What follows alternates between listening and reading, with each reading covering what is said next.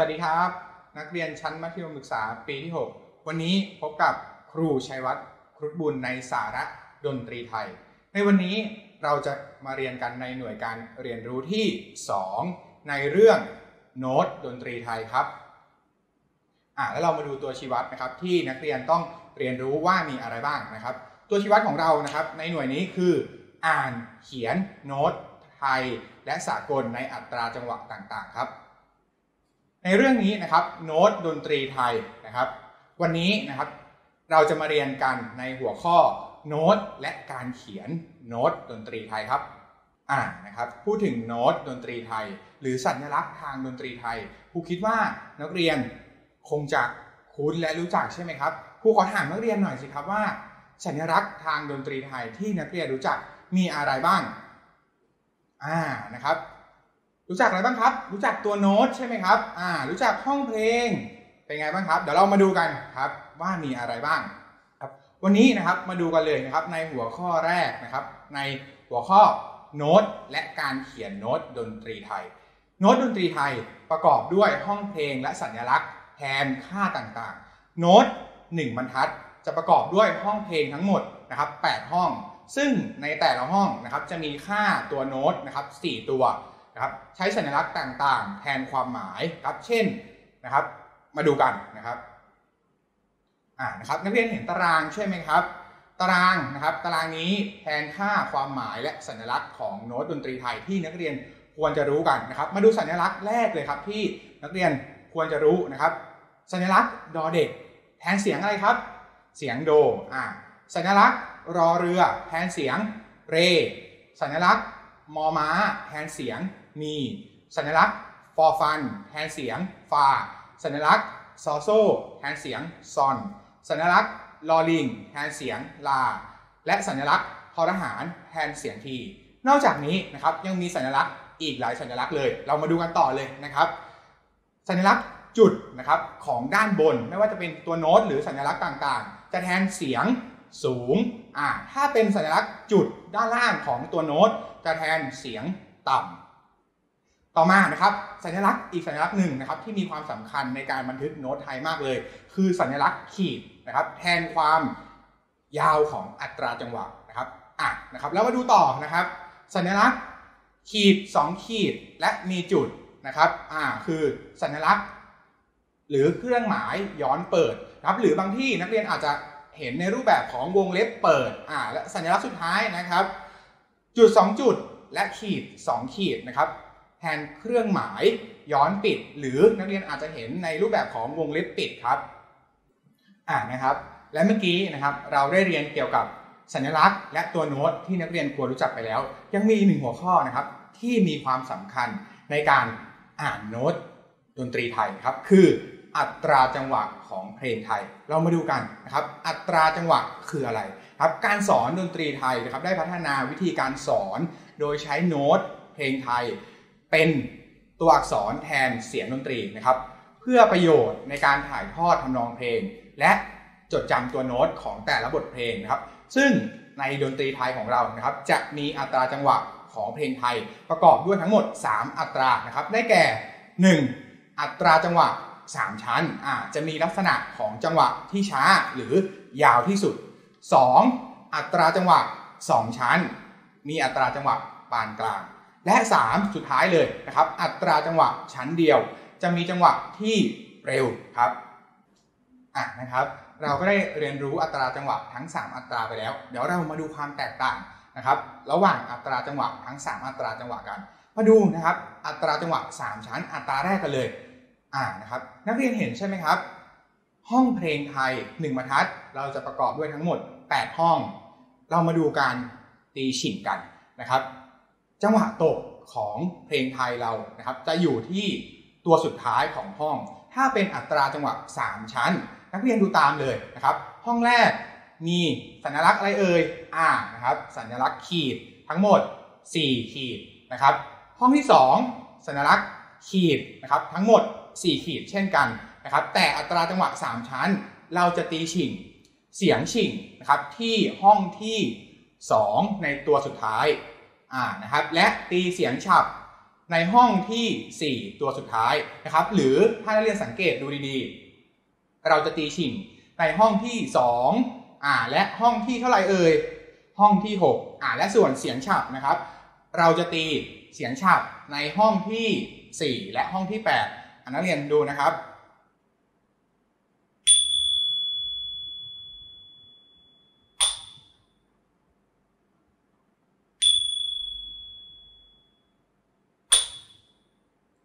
เป็นไงบ้างครับ นักเรียนสังเกตได้ว่าอัตราจังหวะ 3 ชั้น ค่อนข้างที่จะยาวและช้าใช่ไหมครับ ต่อมาเรามาดูอัตราจังหวะ 2 ชั้นกันนะครับ อัตราจังหวะ 2 ชั้น มีจังหวะเป็นอย่างไรครับเมื่อกี้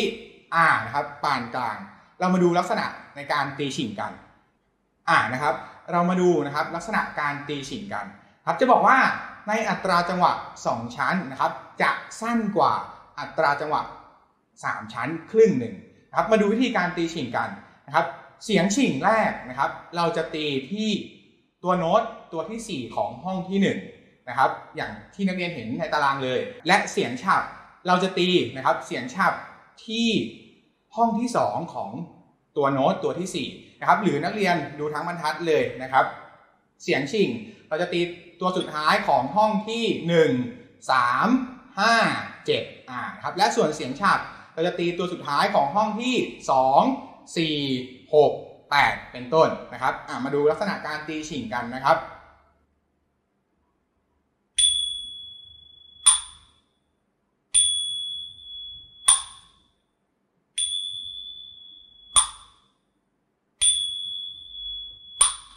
อะเป็นไงบ้างครับ นักเรียนจะสังเกตได้ว่านะครับในการตีฉิงอัตราจังหวะ 2 ชั้น จะสั้นกว่าอัตราจังหวะ 3 ชั้น แล้วเรามาดูนะครับอัตราจังหวะสุดท้ายกันคือ อัตราจังหวะชั้นเดียวนะครับจะบอกว่าอัตราจังหวะชั้นเดียวนะครับมีลักษณะ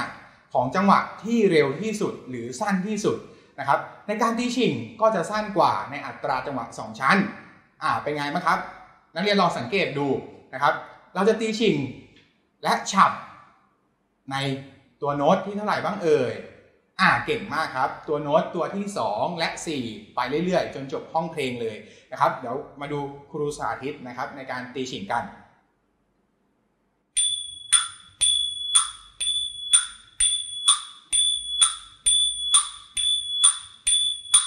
เป็นไงบ้างครับนักเรียนเห็นความแตกต่างนะครับ ในอัตราจังหวะ 3 ชั้น 2 ชั้น และชั้นเดียวครับ เป็นไงบ้างครับ นักเรียน เราได้รู้จักสัญลักษณ์ ตัวโน้ตอัตราจังหวะไปแล้วนะครับ และยังมีนะครับอีกอย่างหนึ่งนะครับที่เราควรรู้จักคือเครื่องดนตรีนะครับในวันนี้นะครับเราจะมาเรียนรู้เกี่ยวกับเครื่องดนตรีประกอบจังหวะของไทยกันว่ามีอะไรบ้าง มาดูเลยครับ อย่างแรกคือกลองนะครับ ในที่นี้นะครับ กลองเป็นเครื่องดนตรีกำกับจังหวะ ขึ้นอยู่กับประเภทของกลองด้วยนะครับ ซึ่งกลองแต่ละประเภทจะมีลักษณะการกำกับจังหวะที่ต่างกัน มาดู 2 กลับอ่านะครับ นักเรียนคงรู้จักใช่ไหมครับ 3 ชิง 4 โมง และสุดท้ายเลย ฉาบครับนะครับ การดำเนินจังหวะนะครับให้เป็นไปตามจังหวะทั้ง 3 อัตรานั้นนะครับ จะต้องมีจังหวะหน้าทับเป็นหลักนะครับ โดยมีชิงเป็นจังหวะพื้นฐานนะครับในการปฏิบัติ โดยจังหวะหน้าทับนะครับ เรามาดูกัน เราสามารถแบ่งออกได้ 3 ลักษณะนะครับหนึ่งเลยนะครับคืออะไรคือหน้าทับปลกไก่ หน้าทับปลกไก่คืออะไรนะครับ ส่วนมากนะครับ หน้าทับปลกไก่เราจะใช้อ่านะครับในการร้องทั่วไปนะครับ หรือใช้บรรเลงนะครับในเพลงประเภทเพลงเสภา มาดูหน้าทับที่ 2 คือหน้าทับสองไม้ หน้าทับสองไม้นะครับจะสั้นกว่าหน้าทับปลกไก่ครึ่งหนึ่งนะครับอ่าต่อมา หน้าทับพิเศษอ่านะครับหน้าทับพิเศษคือ เราจะใช้บรรเลงในเพลงหน้าพาดในบางเพลงหรือเพลงภาษาต่างๆ นอกจากนั้นนะครับหน้าทับพิเศษเรายังสามารถบรรเลงในเพลงที่มีลักษณะเฉพาะด้วยครับ และเราก็ได้เรียนเกี่ยวกับสัญลักษณ์ตัวโน้ตอัตราจังหวะรวมถึงเครื่องประกอบจังหวะไปแล้วนะครับ วันนี้ครูมีแบบฝึกการอ่านสัญลักษณ์ ทางดนตรีไทยในอัตราจังหวะต่างๆ มาให้นักเรียนลองฝึกอ่านกันนะครับ โดยนะครับครูจะให้นักเรียนร่วมกันอ่านอัตราจังหวะ 3 ชั้น 2 ชั้น และชั้นเดียวนะครับ ที่ครูกำหนดให้ด้านล่างนี้นะครับ พร้อมกับให้นักเรียนนะครับ ฝึกปรบมือแทนเสียงชิงและเสียงฉับครับ มาดูอัตราจังหวะแรกเลย คืออัตราจังหวะ 3 ชั้นนะครับ นักเรียนจำได้ใช่ไหมครับ ว่าเราจะตีเสียงชิงและฉับ อ่าที่ห้องไหน อะเก่งมากครับ เราจะตีเสียงชิงในห้องที่ 2 ของตัวโน้ตตัวสุดท้าย และตีเสียงฉับในห้องที่อะ4ของตัวโน้ตตัวสุดท้าย เราจะตีชิงและฉับแบบนี้นะครับให้มีความสม่ำเสมอไปเรื่อย ๆ เลย จนกว่าจะจบเพลงนะครับอ่ามาดูบรรทัดแรกก่อนเลย อ่านครับบรรทัดแรกนักเรียนเห็นอะไรบ้างครับ เห็นตัวโน้ต เห็นสัญลักษณ์ขีดใช่ไหมครับ โน้ตเสียงแรกคือเสียงอะไรเอ่ย อ่าเก่งมากครับนักเรียน เสียงโดนะครับ พร้อมนะครับ โด เร มี ฟา ซอน ลา ที โด อ่านะครับ เห็นไหมครับ ระดับเสียงนะครับจะค่อยๆสูงขึ้น ทีละขั้นครับอ่ามาดูบรรทัดที่ 2 กันนะครับในการตีฉิ่งอัตราจังหวะ 3 ชั้น โดทีลาซอนฟามีเรโด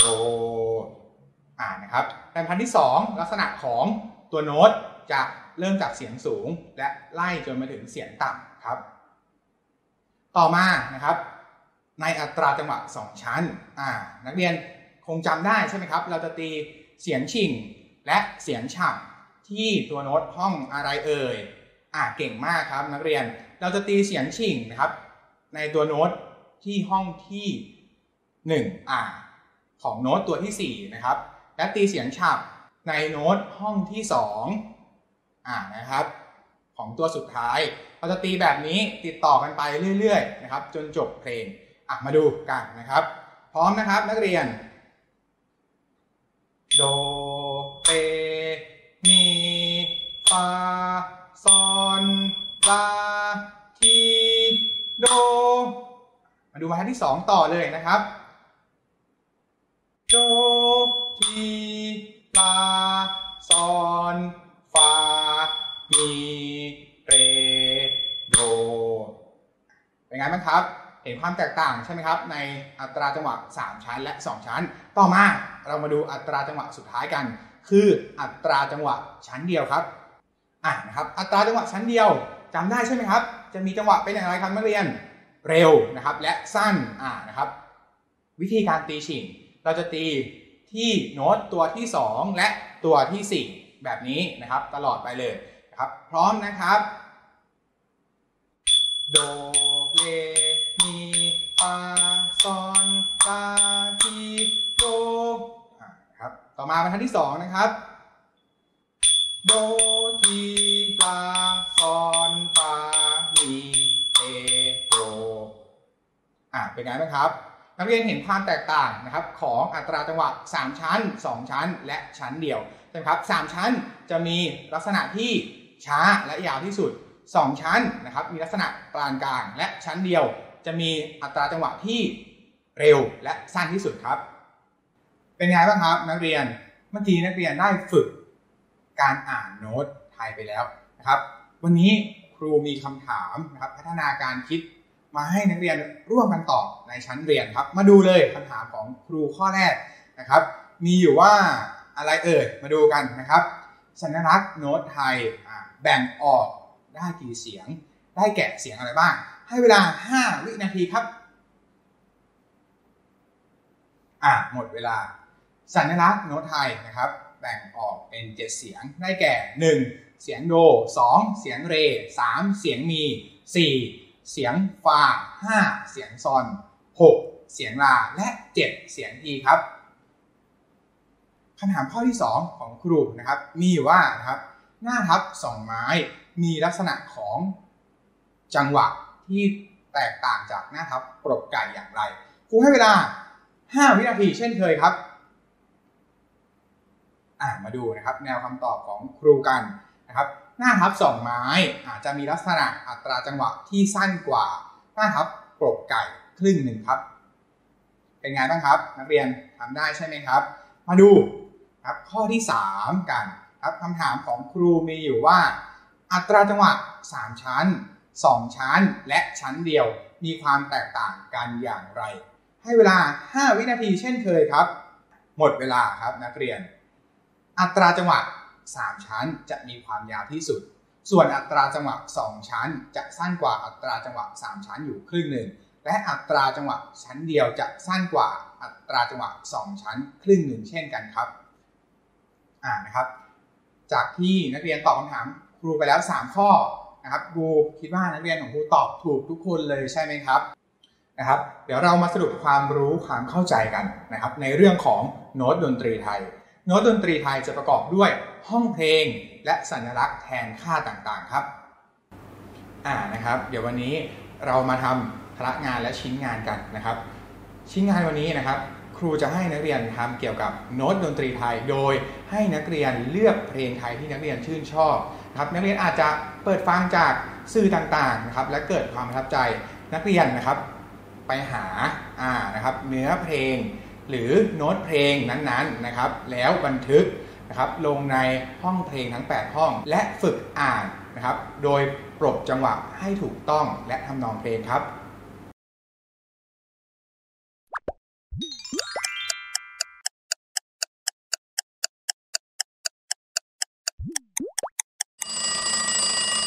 เดี๋ยวเรามาสรุปหลักการหลักการปฏิบัติกิจกรรมกันนะครับ การศึกษาการเขียนและการอ่านโน้ตเพลงไทย ควรทำความเข้าใจในเรื่องของเครื่องหมายและสัญลักษณ์ที่ใช้ในดนตรีนะครับ จะทำให้เราเข้าใจในเรื่องของจังหวะและทำนองเพลงง่ายขึ้น สามารถขับร้องและบรรเลงให้ถูกต้องตามตัวโน้ต จังหวะและทำนองเพลงครับ